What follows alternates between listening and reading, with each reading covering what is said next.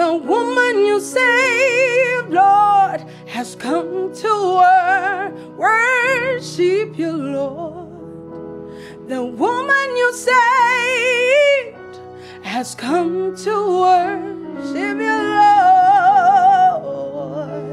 The woman you saved has come to worship you. Sing, yeah.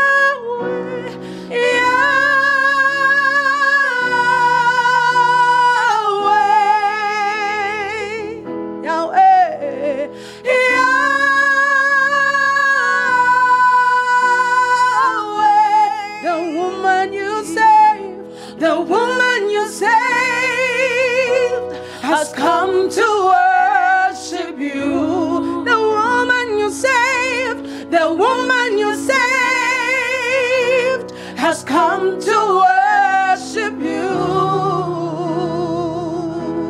The woman you saved has come to worship you.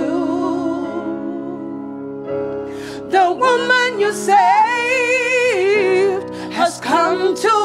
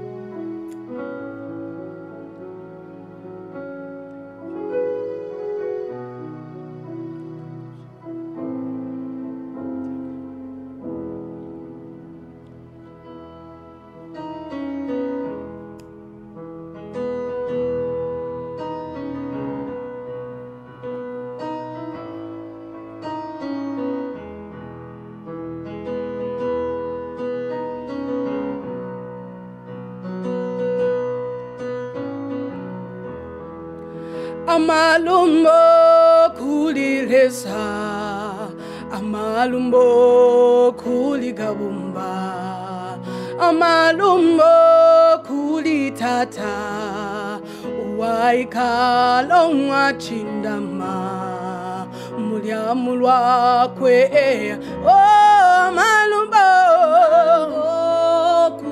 yeah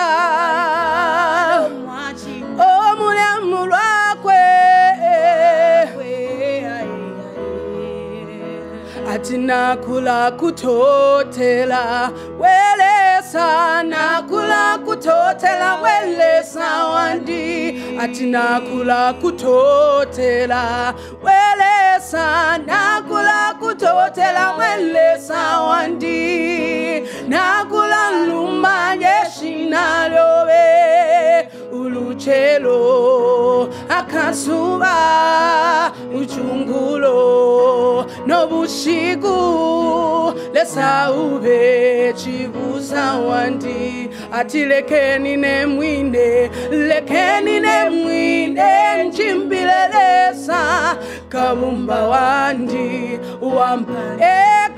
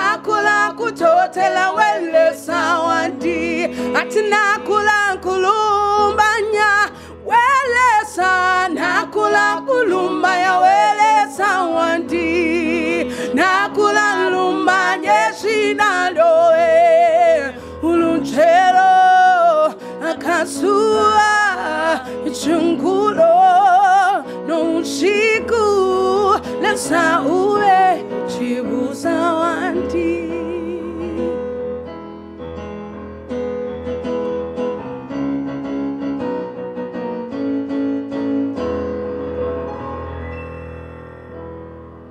Good morning, everybody, and welcome to our Sunday service. My name is Prophetess Adele Mwanza. I'm glad to be with you this morning. I'd encourage you to just open up your heart. I'm excited about this word today. I've entitled this message, Arise. Hallelujah. Uh, our reading will come from the book of Mark, chapter 2, verse 1 to 5, and then we'll skip down to verse 11. The Bible says, And again he entered Capernaum after some days, and it was heard that he was in the house. Immediately many gathered together, so that there was no longer room to receive them, not even near the door. And he preached the word to them. And they came to him, bringing a paralytic who was carried by four men.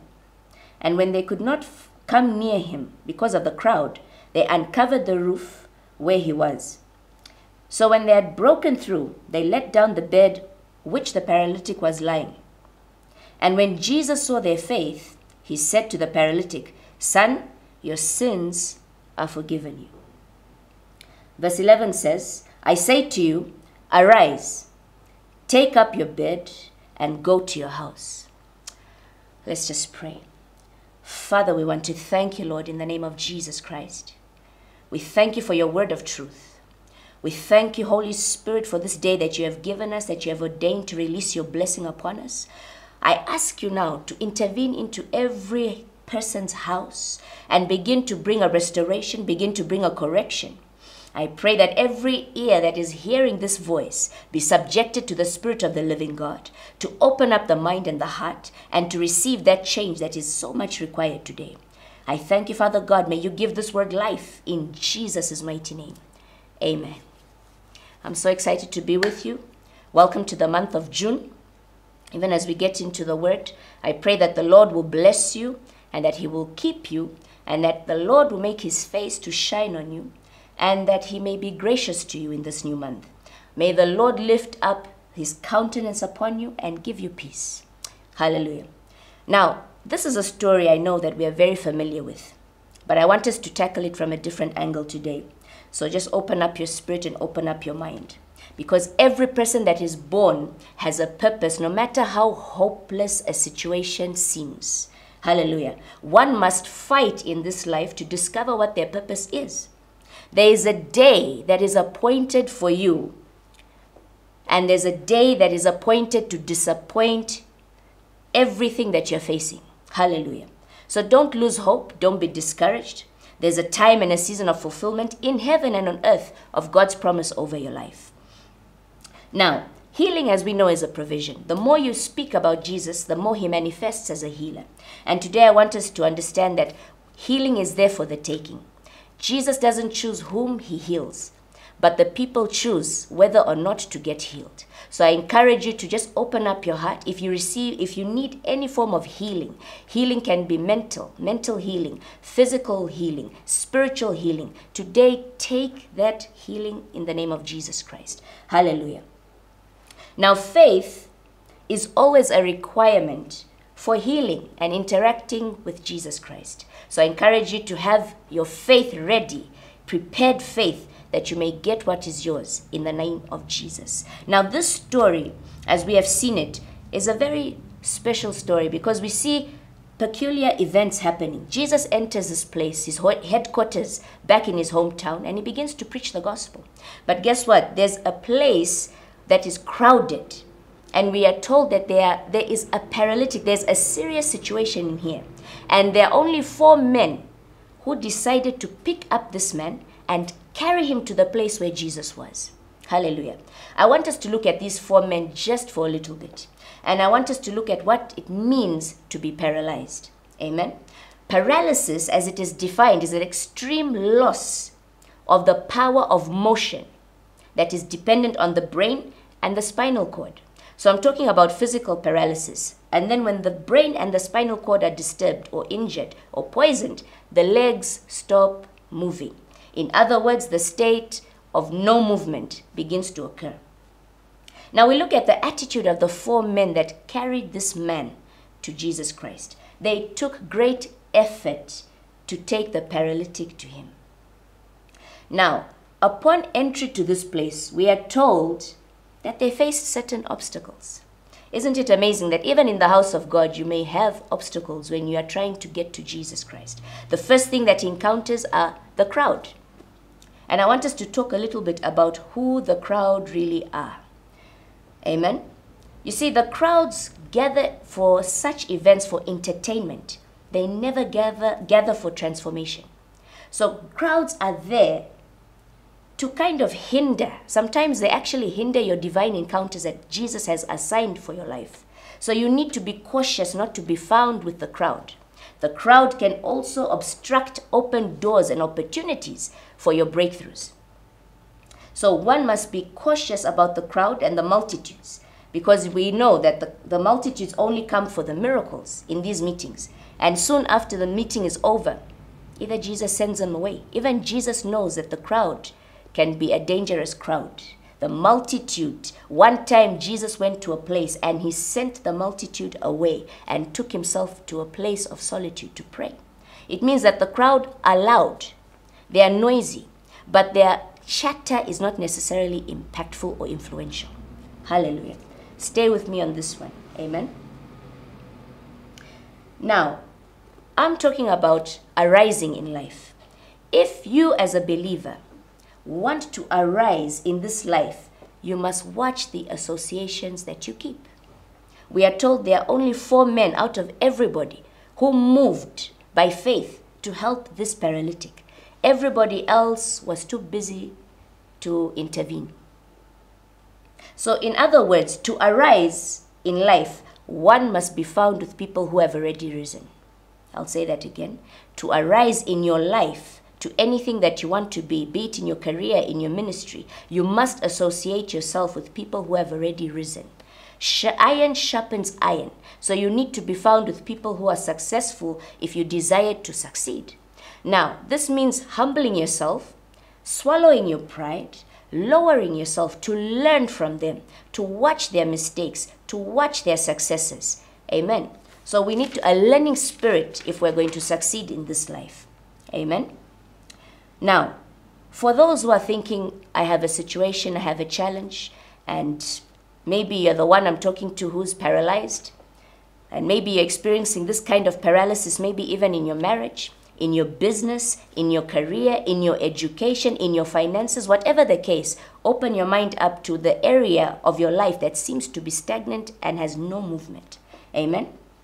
That challenge you might be facing is a challenge that God wants to use to be glorified. Now, never allow people to begin to take advantage of your disadvantage. Never allow people to take advantage of your disadvantage. Amen. Don't care how people see you. You should care how Jesus sees you. Because Jesus looks at you in a different perspective. Men look at you with another system altogether. So your, your, the opinions of man should not deter you with what God is trying to do in your life. Hallelujah. Listen, just because you are stand, there might be people who are standing, looking down on the paralytic, does not mean that paralytic will never be used. Does not mean that business will never be used or that marriage will never arise. One thing is certain. As the men are looking down at the paralytic, the paralytic's perspective is only looking up.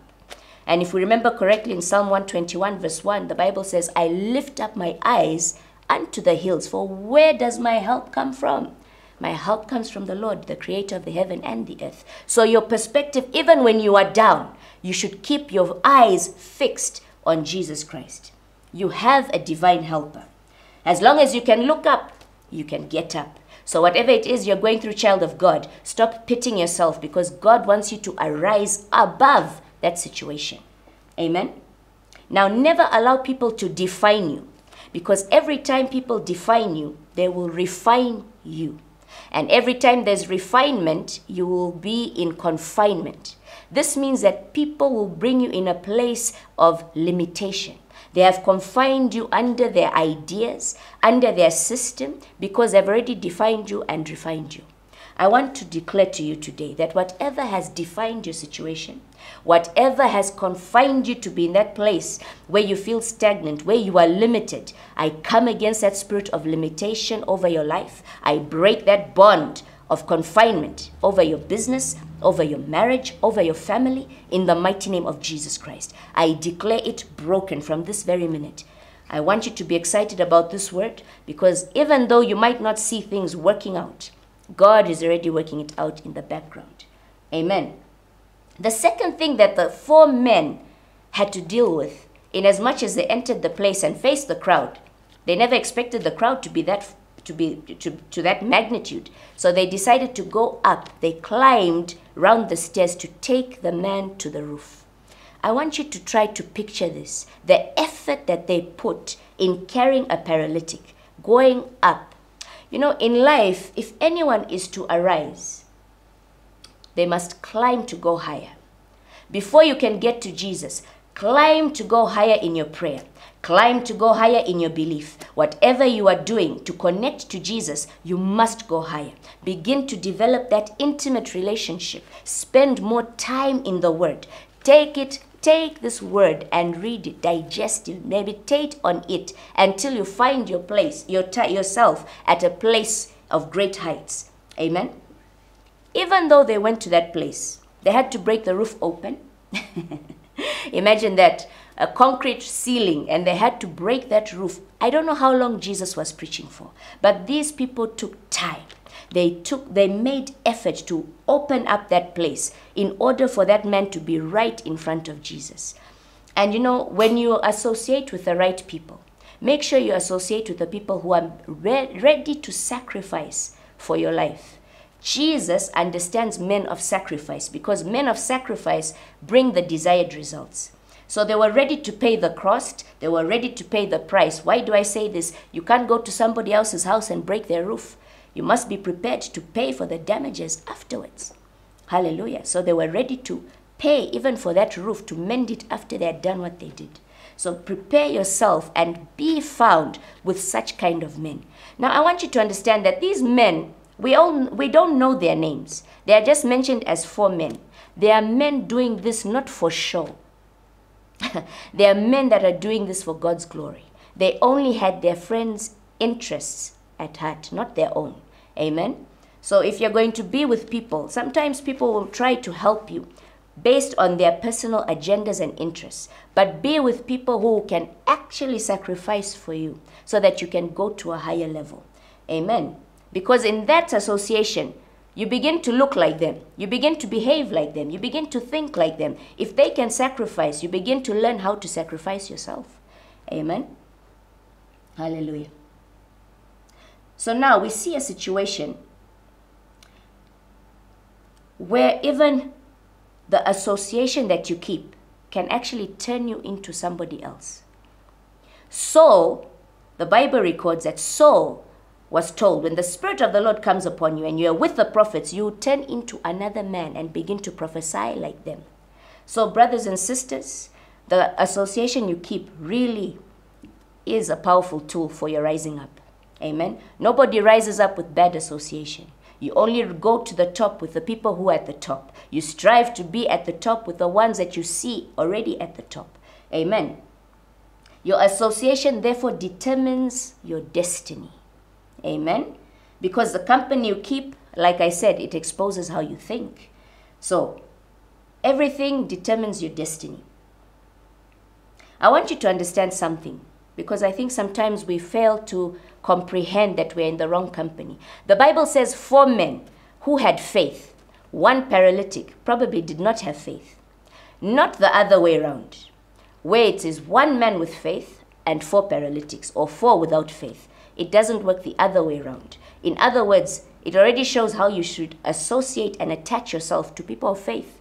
If you alone are going to begin to work out your faith, attach yourself to people of faith. Amen. Now we see that these men's faith had impact. You know, most of the times we as believers think the faith that we have is only meant for our needs. I want to ask you a question today. Does your faith impact other people's needs? Is your faith able to transform somebody else's life other than your own? Do your actions actually have compassionate? Are they compassionate actions towards the needs of others? Or is your faith only applied to yourself? Why am I talking about faith? Because sometimes we feel like we are stunted in faith, like we don't have faith. Everyone has faith. But how we use the faith will determine how we stretch it. And any stretched faith doesn't break, it continues to prolong and go on. There's a continuity. And anytime there's a continuity, you'll see greater results. Glory be to God. So Jesus responded to their faith and he healed the man. Other people in this place, the crowd, they were preoccupied with their own agenda. People of God, you might be like the crowd, where you go to church, you are too busy with your own personal relationships, your own personal agendas, that you do not see the needs in the house of the Lord. I want to encourage you and urge you to transform your mind and begin to open up your heart to the needs of people around you. That way is the only way you can make impact in your life. Amen.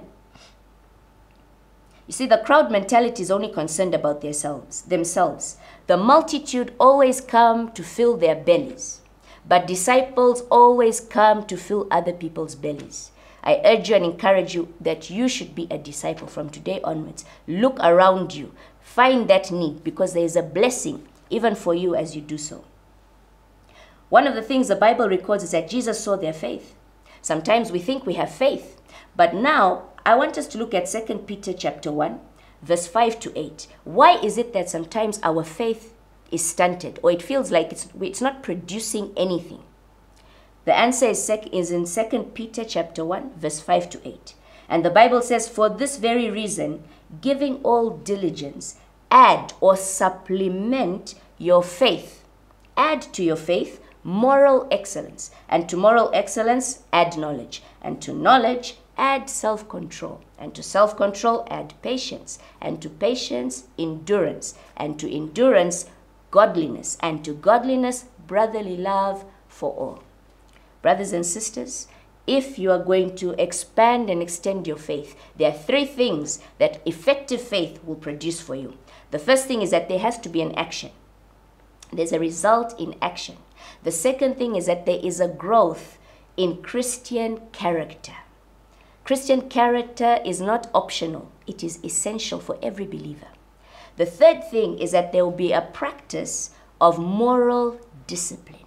When these three are combined, your faith will get to that place that you expect it to get. You'll have greater results. So faith must be accompanied by the fruit of the Spirit for it to function very well. Actions don't automatically occur. Actions are hard work. As we can see that they went in, they found the crowd, they climbed, they broke the roof. There's a lot of uh, it's not automatic. They were also not expecting those things, but they put in that effort. Even for faith to operate, actions are not optional. But there must, there must be an occasion where you continue your actions. Always continue. You don't say, oh, we had faith enough to take him to the place, but we didn't have faith enough to enter.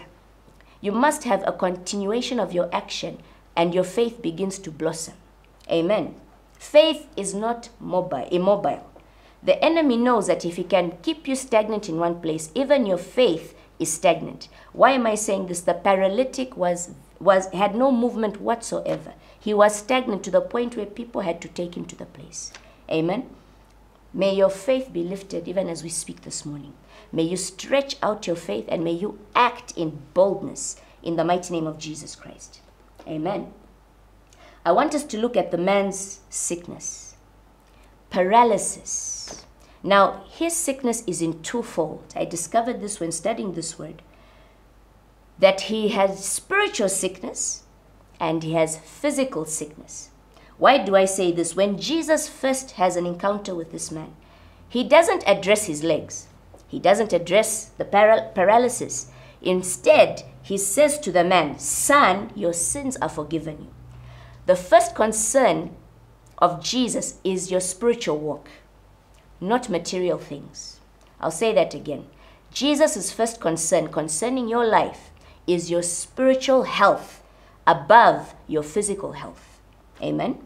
So Jesus corrected first the things in the spirit, and then the things began to manifest in the physical because life first starts spiritually.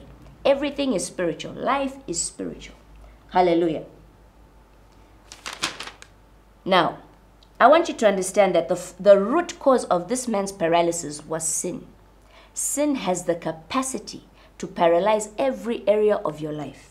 Now, I know you are there and you're thinking, well, I'm walking around, I'm not a paralytic.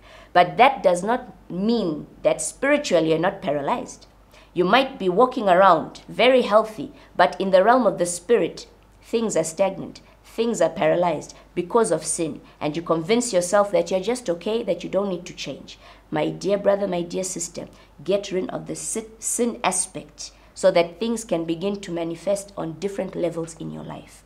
Why do I say this? Jesus is concerned about your life. He addresses the paralytic as son. This signifies a covenant relationship. He's interested in you having an intimate one on one relationship. He's already telling him that your sins are forgiven you. In other words, he has removed, he has pulled away, he has taken away, he has carried away everything that hindered this relationship. He has renewed it even though there was a wrong done. That is the beauty about Jesus Christ. He can renew your relationship today. You just have to open up your heart and tell Him to come through once more. Now, the word forgiven in Greek is aphemi, and forgiveness reveals a relationship that has been renewed despite a fault. It has to do with let, to let go, to give up a debt, to put away, to give completely without reservation. Now, for a believer to fully take forgiveness, one must also be able and willing to let go, to put out, to put away, to totally give up that debt that entangles you in sin. Then you will experience full forgiveness. Hallelujah. After that, restoration will come, and revival always follows forgiveness. While, while we are in this word, I want us to look at the last group of people. These are called critics. You know, we looked at the crowd, we are looking at the four men, and now we are looking at the critics. Who are the critics? The critics are the Pharisees. They are only in this place to make observations. Pharisee mentality. They listen to answer, they don't listen to learn. And we have them in a place called the house of God.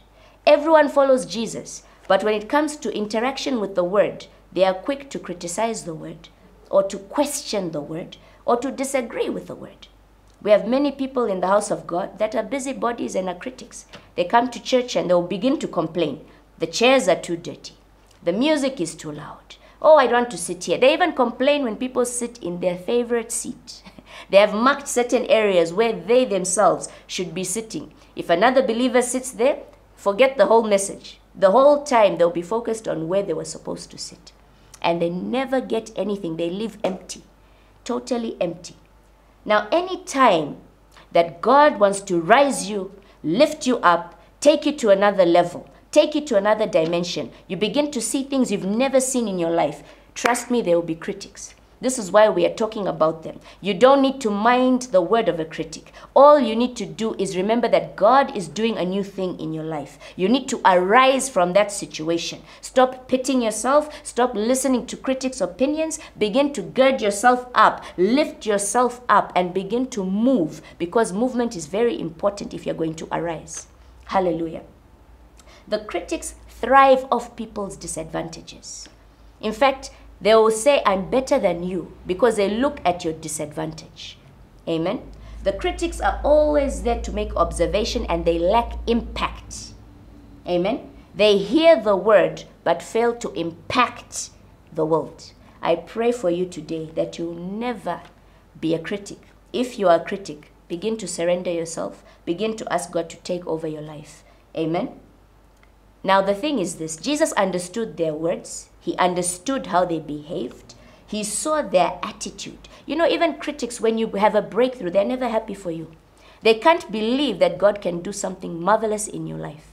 That's why I'm saying you don't need to worry about the critics. Put them aside. Put the Pharisees to one corner of your life and begin to watch God do mighty works in your life. Amen.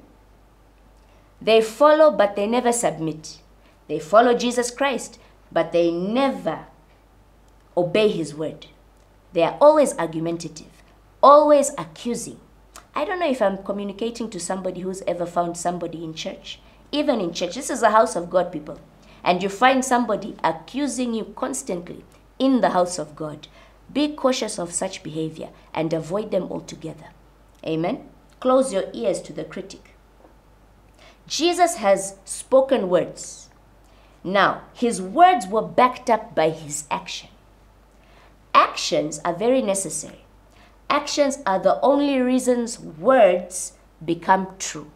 This is why this whole Bible is true, because everything that was spoken of, Jesus has fulfilled. His words have been backed up by actions, and there are certain prophecies that are yet to be fulfilled, but the action definitely will begin to manifest in the end times. Hallelujah. I want to ask you something. Is your word, does your word back up your action? Do your actions manifest after you say you'll be you you'll help somebody in need? Do you actually just speak words and leave it there? Or do you actually follow through and begin to act towards what you have spoken? Amen. That's something for you to think about. I want to encourage those who are down, those who are discouraged, those who think Jesus has forgotten them. This is a season that Jesus wants to resurrect things. This is a season that things will begin to manifest very quickly. Even as you're lying down, whatever it is that you're going through, if it's spiritual paralysis, if it's physical paralysis, God is restoring your relationship right now. He is calling for you. He is asking you to come forward to Him. He wants to do something new. It is up to you, my brother and sister, to begin to arise. As Jesus said, Arise, take up your bed and go to your house. I want you to understand something. That bed is not to a reminder of the sickness that he had. That bed is a reminder of how Jesus healed him. That sickness that you might have is not to the glory of God. It is the, what healing that does that Jesus brings that gives God the glory. Hallelujah. He's not trying to punish you through a sickness. Sickness is not of God. Amen. So he's he's waiting for you to come halfway. Meet him at a place where you can begin to take the full promises of God for your life. It requires your effort. You have that responsibility to begin to start moving, to keep pushing, to keep praying, to keep fasting. Everything that you think you are doing that you see no results to, keep doing it. Keep pressing. Keep praying. Keep studying the word. Keep meditating on that word in the mighty name of Jesus. Amen. I want us to just pray over you now in closing. Because God is interested in the covenant relationship. He wants to restore things in your life. He wants to bring things into your life to make them beautiful. Where you are is not the final place you're supposed to be. Don't be discouraged. Every time you are discouraged, the enemy disconnects you from the Spirit of God. That's why a lot of people in this period will find they are discouraged, they're heavy, because the enemy, the minute discouragement enters, there's a disconnection. I decree and I declare over your life right now that there will be a connection in this season, to in this month of June, that you will encounter Jesus like never before. He will make himself known to you. He will reveal his plans that he has for you in this season. Those plans will begin to manifest. You shall leap up and begin to run. You shall not be weary. You shall run and not be weary. You shall succeed in everything that you do. I pray over you that you have the right association. I disconnect you now from anything that is bad company Anything that is a crowd that is a hindrance to your breakthrough, I speak a disconnection. I render that crowd useless. I declare the way open for you to access Jesus Christ. I declare that your faith is going higher and higher. You are going to another level. God is lifting you up. As you begin to arise, I speak healing in your spirit. I speak healing in your soul. I speak healing in every area of your ideas. I declare healing in your material possessions. I declare healing in emotions, whatever has kept you paralyzed, I speak to that paralysis right now. I confront it, it has no power over your life. I declare movement from today. I declare progress. That limitation is broken in the name of Jesus Christ. I speak into those legs. You might be an actual paralytic and feeling weak or tired in your legs or heavy, whatever the issue is in your legs, whatever it is in your spine, I decree and I declare over you right now by the precious blood of Jesus Christ. Arise, take up your bed and walk. I Arise, take up your bed and walk.